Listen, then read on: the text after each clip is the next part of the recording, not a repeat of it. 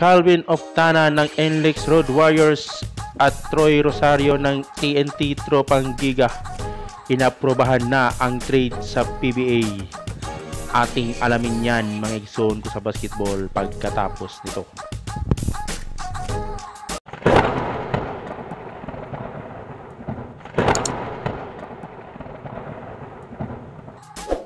Bago tayo magsimula, baka pwede makahingi ng isang like at pa-subscribe na rin sa aking YouTube channel at pakiclick ang notification bell para liking updated sa aking mga latest video na i-upload.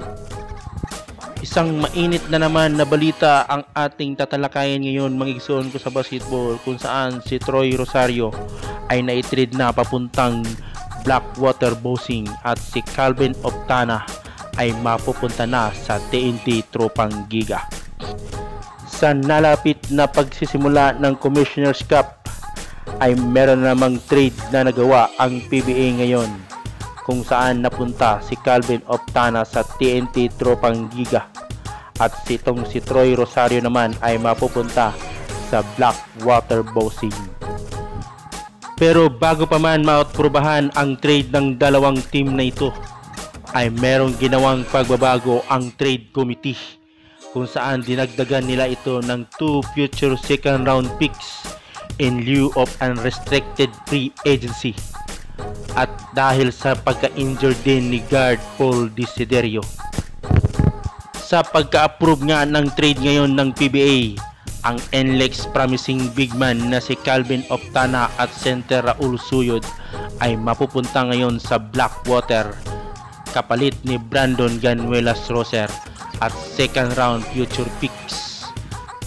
At ang Blackwater Bossing mga ko sa basketball ay i-trade ngayon si Calvin Optana at center Raul Suyod sa TNT Tropang Giga.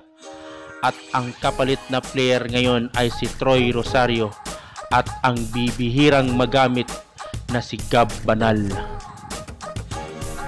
Si Troy Rosario, mga igsoon ko sa basketball, ay nag-spend ng first 6 years sa TNT Tropang Giga kung saan di selected number 2 overall pick noong 2015. Ang former National University standout ay naging 4-time All-Star ng PBA at nagkaroon ng isang championship sa kanyang team nung nakaraang season sa Philippine Cup Bubble sa Bacolor, Pampanga. Ang former TNT Tropang Giga ay nag-average muna ito ng 11.9 points at 6.1 rebounds sa entire na paglalaro nito sa TNT Tropang Giga. Sa pagkawala nga ni Troy Rosario sa TNT Tropang Giga, ay makukuha naman nila ang isang rising star na si Calvin Optana na naging second leading scorer para sa NLEX Road Warriors ng Philippine Cup kung saan nag-average ito ng 17 points, 7.8 rebounds, 2.8 assists at 1.6 steals. Samantalang sa NLEX Road Warriors naman mga ko sa basketball ay nakuha nila ang isang power forward na si Ganuelas Roser kung saan naging number 1 overall pick nung nakaraang PBA draft nang dahil sa controversial trade na nangyari ngayon sa PBA. Samot-saring negatibong feedback ang natanggap ngayon ng PBA office at lalong-lalo na sa commissioner na si Willie Marshall.